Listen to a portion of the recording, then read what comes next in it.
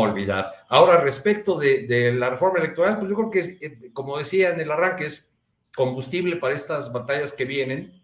Creo que ya la, la coyuntura o el desarrollo de la, de la contienda política que vivimos se ha ido decantando y se ha ido resumiendo, concentrando en algunos temas.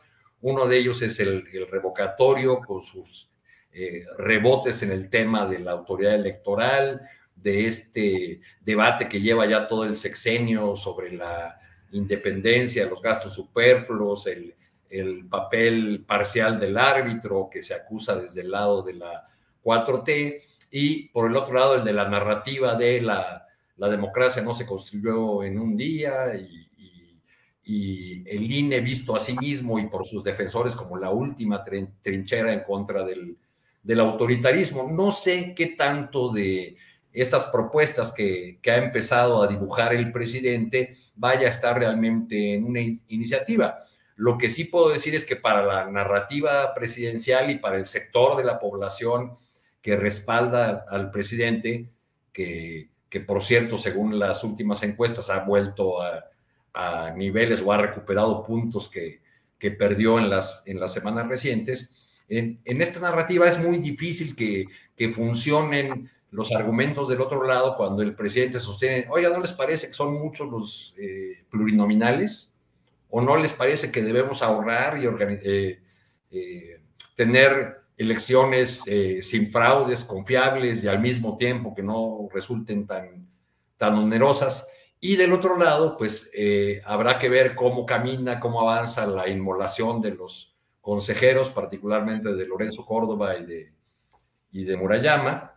Este, pero bueno, pues ya ha dado eh, lugar el, tema, el anuncio del presidente a un debate que también tiene sus, ribetes graciosos, ¿no? Como todo un tuit de todo un hilo de, de Twitter del ex consejero presidente Luis Carlos Ugalde, en el que en esencia argumenta que el presidente López Obrador nada más está haciendo una jugada retórica para poner a discutir a sus adversarios, pero que es algo que, que no va a pasar y, nos suelta la, ya muy sobada receta de la independencia, de las capacidades técnicas, de, de, todo el valor que tiene para la democracia mexicana el Instituto Nacional Electoral.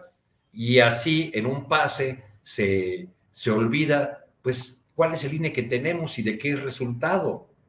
El Instituto Electoral que tenemos, así como otras de las llamadas instituciones autónomas, son resultado de acuerdos políticos y de cuotas que los partidos se repartían según el número de, votos que tuvieran en el Congreso. Ese es el INE. El propio Luis Carlos Ugalde no hubiese sido presidente del Instituto Nacional Electoral en la elección fraudulenta de 2006, por cierto, de no haber sido por un voto primigenio, el voto de la profesora Elvester Gordillo, que lo hizo su candidata a ocupar ese cargo de presidente del Consejo General del INE, pues por la sencilla razón de que era amigo, ex compañero de banca de uno de sus más cercanos asesores. Gracias, Arturo. Pues justamente con ese tuit que mencionas, donde dice que pues, está provocando, dice, para usar su narrativa de que el INE México está al servicio de las élites neoliberales, y pues tuvimos creo que un déjà vu justamente al 2006, pero pues interesante todo este tema eh, Alberto, pues tú qué piensas de esta reforma electoral propuesta por el presidente? Eh, ¿Iría en contra de la pluralidad política, de la eh, representación de minorías o partidos pequeños o se garantizaría pues que no hubiera más fraudes en, el futuro. ¿Cómo ves? Digo, es complejo porque tienen pues muchos, muchas, son varias propuestas dentro de esta iniciativa y que las primeras podrán llamar mucho la atención en cuanto a la reducción de presupuestos, ¿no? Sigue el presidente mencionando que es el instituto electoral más caro del mundo, por ejemplo. Alberto, ¿qué piensas? Pues mira, es que sí se gasta mucho dinero en los partidos políticos y el tema es que no se ha logrado resolver em, de alguna forma y que se, se gasten esas cantidades impresionantes de recursos y lo peor, que no haya una forma de tener una supervisión de auditoría, saber en qué se utilizan. No son pocos los casos de eh, de políticos, personajes que pues se fueron a hacer campaña y pues nada más para, se fueron a hacer campaña para poder tener acceso a las prerrogativas y pues con eso se hicieron ahí su ronchita, ¿no?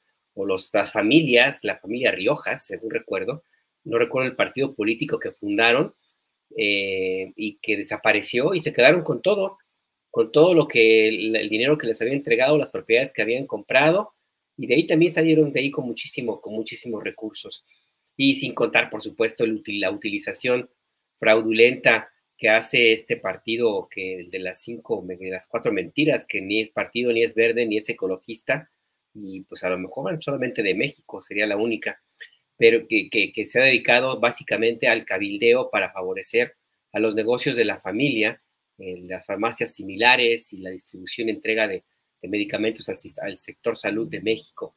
O sea, nada más por eso me parece que sería muy positivo que se hiciera una reforma política que tuviera topes al gasto público que se entrega a los partidos políticos. Hay que ser cuidadosos porque si ya de por sí, con todo y que hay este dinero público, hay una cantidad impresionante de, recursos desplegados por grupos eh, políticos locales, empresarios y de delincuencia organizada. Entonces sí hay que tener mucho cuidado en eso.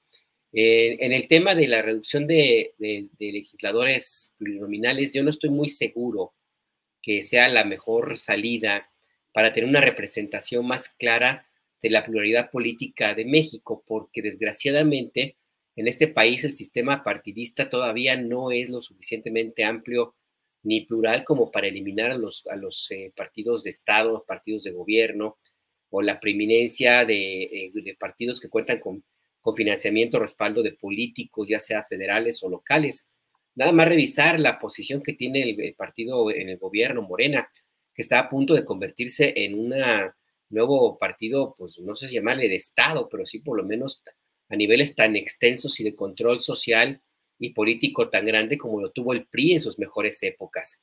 Hace mucho que no teníamos un país tan pintado solamente de un solo color como las encuestas marcan que puede ocurrir en las elecciones de junio.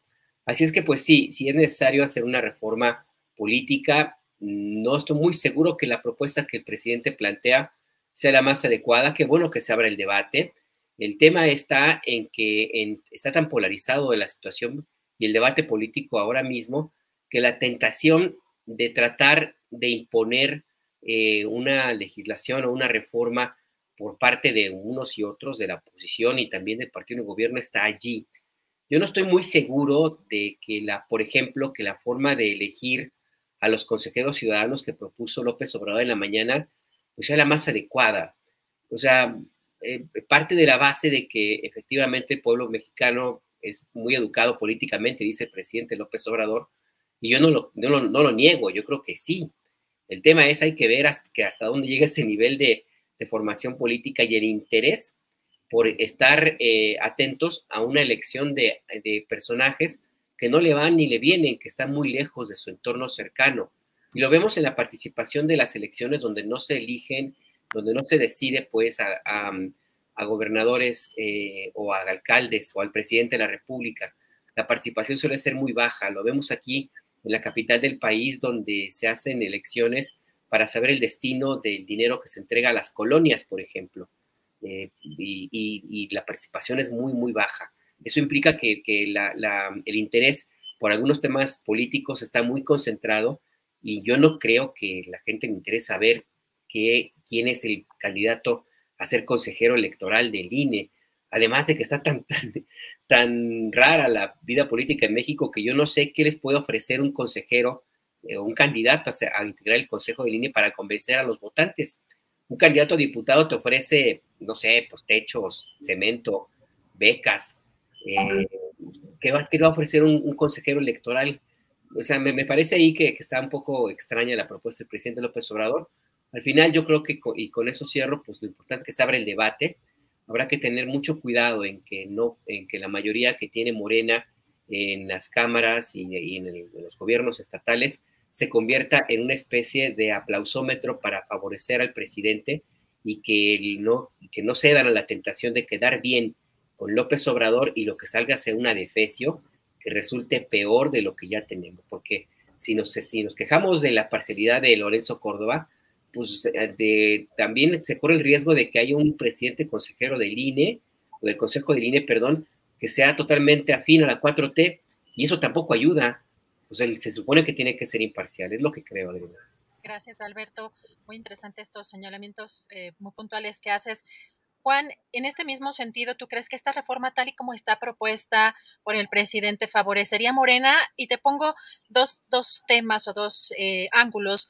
Parte de la columna que hoy escribe Julio, eh, precisamente en la jornada, respecto a esta elección para consejeros, pues eh, él comenta que pues debería predominar el conocimiento técnico y la honestidad, más no la popularidad, si habría un riesgo de que precisamente conforme también a lo que menciona pues Alberto Nájar, sea pues un personaje más popular que honesto y, técnicamente digamos viable. Y también en el caso, por ejemplo, de que debería quizá abrirse la puerta de mejor forma o, contundentemente a las candidaturas independientes, Julio plantea, por supuesto, el caso de, de Chile. ¿Cómo ves, Juan? Pues mira, es un tema que se tiene que revisar profundamente, como bien mencionas, y lo que dijo Alberto, resulta muy interesante. Estamos ante un asunto inédito en nuestro país que tendrá que revisarse. Vamos a ver cómo vienen las discusiones, vamos a ver cómo viene la iniciativa, este, cómo se discute en comisiones y tendrá que eh, contar con una enorme cantidad de candados para que no suceda esto que puntualmente este, menciona Alberto y además de manera muy clara y muy acertada. Coincido con él en que falta mayor cultura de participación en México, que los ciudadanos pues, acudimos a las urnas, pues, ahí nomás para elegir a nuestros gobernantes, pero no sé, llevando a cabo este tipo de ejercicios y solo entonces podríamos avanzar en la materia. El peligro de que se voltee la moneda y de que por evitar tener un árbitro imparcial encontremos otro árbitro, pero que también sea imparcial este, de la tiendita de enfrente, es un riesgo. Entonces tendría que blindarse, tendría que haber candados. Uno de ellos podría ser que tal vez este, los consejeros no sean propuestos por una terna de los partidos políticos, sino sí a través de una votación popular que lleve a que en la Cámara este, de Diputados se decida sobre estos electos por el pueblo, pues cuáles son los que presentan mayores perfiles. Pues un tema muy profundo, muy delicado. Hay que revisarlo este, con detenimiento porque pues no hay duda, ¿no? Me parece, Adriana, en que pues ya no solo para honrar la vida democrática del país, sino para protegerla, se requiere de una profunda revisión a las instituciones democráticas, ¿no? Encargadas de, pues de dar curso a la voluntad popular en México y no solo a través de designar este, gobernantes o representantes, sino de casi todo lo que nos compete como ciudadanos. Entonces, una reforma electoral, pues ahí se requiere y de entrada, pues hay que salir a preguntar a la calle hoy cuál es la percepción del INE, ¿no? Y la respuesta me parece que va a ser muy diferente a la que anduvo ahí presumiendo Lorenzo Córdoba hace unos meses, ¿no? Resultó quién sé qué ejercicio que dijo que lo iba a presentar y luego ya no sé si presentó porque ya no lo vimos, en fin. Pero más allá de eso, opino que hoy como nunca, como nunca antes, este, tal vez porque también como nunca antes el país está enormemente politizado, el Instituto Electoral es sujeto de desconfianza, de descontento e incluso de indignación de muchos, de muchísimos, como si se tratara de una fuerza política, ¿no? Y no un órgano autónomo, como si defendiera intereses políticos determinados y no a la democracia a favor del pueblo. Y pues es que así se ha portado el INE, como una fuerza política más como un opositor al gobierno actual, ya de manera frontal, ya descarada, sin tapujos. Y esto, pues caray, daña la democracia, daña al país y daña al instituto enormemente. Entonces sí, hay que salvar al INE, por supuesto. Y creo que la mejor manera de hacerlo es a través de una reforma para blindarlo de la intromisión de los partidos políticos en su operación.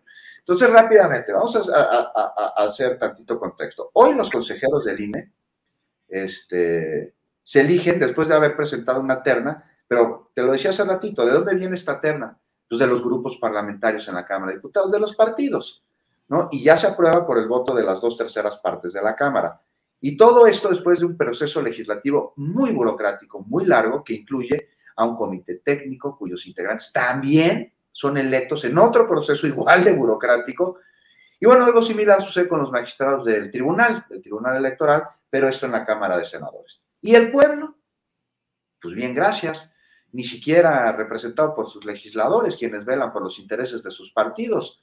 Ahora, es un proceso en el que juegan las fuerzas políticas del país, no los ciudadanos, no los electores. Pues qué bueno, pues, que esto, pues, además de manera inédita en el mundo, porque creo que en ningún otro lugar del mundo se hace como propuso el presidente, se cambie y que los órganos encargados de la democracia en nuestro país se democraticen. O, pues pregunto, ¿ustedes quieren continuar con un, con un INE, con un tribunal que inhiba la participación en ejercicios como la consulta, revocación de mandato? Porque están atentando con esto la voluntad popular. Este, porque aquí, pues hay que señalar una vez más que la revocación de mandato pues no es la consulta del presidente, es una que el pueblo mandató al votar masivamente por él en 2018 y luego al participar activamente en los procesos de solicitud para que se lleve a cabo, de recolección de firmas y ahora de difusión, porque el INE pues, no la hace, pero se agencia, dice, no, yo el único que puede hacer difusión soy yo, y no la hace. Y entonces los ciudadanos hacen difusión y les borran las barras. Ya hablaremos, si quieren, en otro momento de la vera. Pero bueno, este, nada más mencionar aquí que ya para acabar, que qué maravilla que se reduzca la lana a los partidos políticos, ¿no? Y al mismo instituto que vive en un modo de lujo exótico que ni Buckingham tiene. Y, nada más se una revisada, ¿no? Las investigaciones de Nancy Flores este, sobre los dispendios en el instituto. Y ahora sí ya, perdón, no iba a acabar, pero ahora sí, los pluris. A ver, cada tres años, ¿no? Elegimos a nuestros diputados, a 300. Y luego se suman otros 200 que tienen las mismas facultades de que aquellos que votamos de manera directa, los mismos sueldos, este, pero ellos están en unas listas que elaboran una vez más los propios partidos de acuerdo a sus compromisos. ¿no? Y se supone que los plurinominales eran representantes de las minorías. No es así, perdieron su función, se convirtieron en otra cosa, en una moneda de cambio más de los partidos políticos. Este, entonces, pues no sé, quitar los pluris, quitarles recursos a los partidos políticos, va a llevar a que sean eso, no organizaciones disfrazadas para chupar del presupuesto y ser negocio, como el familiar que es el verde, que existe nomás para hacer dinero por un lado, a través de las prerrogativas de presupuesto que le da el INE, y por otro, pues de las tranzas con las que a través de su participación en la vida política del país se mete dinero a su bolsillo. Pero ya, ahora sí, sí se va a tener que revisar muy bien la iniciativa, se va a tener que blindar, y muchos, pero muchísimos candados de, de verá de.